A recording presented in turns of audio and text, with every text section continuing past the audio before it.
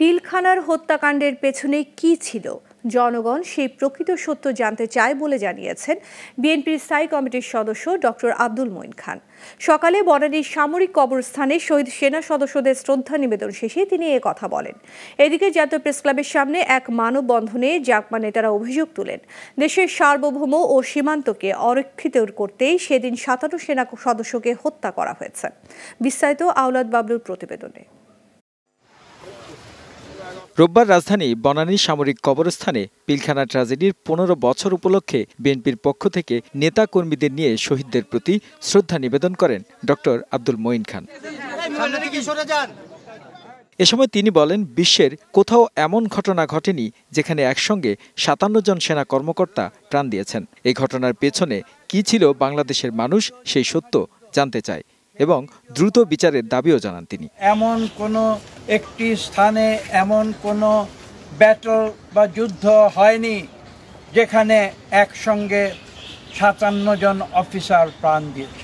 এই ঘটনা কীভাবে ঘটেছে? এই ঘটনার জবনিকার পেছনে কি ছিল? আজকে বাংলাদেশের মানুষ সেই সত্যি জানতে চায়। এদিকে জাতীয় প্রেস ক্লাবের সামনে ভারতীয় আগ্রাসন মুক্ত গণতন্ত্র প্রতিষ্ঠার দাবিতে ও পিলখানা হত্যাযজ্ঞের প্রতিবাদে সমাবেশ করে জাগপার নেতারা। পিলখানা হত্যাকাণ্ডে দেশের অর্ধশত সেনার প্রাণহানি, যারা বাংলাদেশের সম্পদ, উল্লেখ করে জাগপার নেতারা দাবি করেন, দেশের সার্বভৌম সীমান্তকে দুর্বল করতেই এই নারকীয় ষড়যন্ত্র, যার দায় এই সরকারের।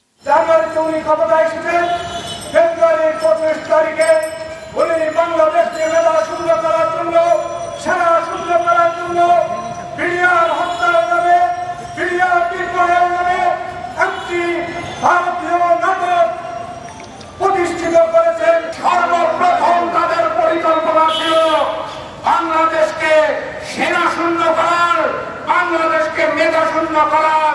সরকার এই ষড়যন্ত্রের সাথে যদি জড়িত না থাকে তবে দ্রুত সময়ে বিচারের কাজ শেষ করতে পারত বলেও জানান তারা। এই সেনাবাহিনী হত্যা যদি সত্যি সংগঠিত আমাদের তাহলে আজকে এই রাষ্ট্র বসে থাকতে পারত না। Awlad Bablu Global Television Dhaka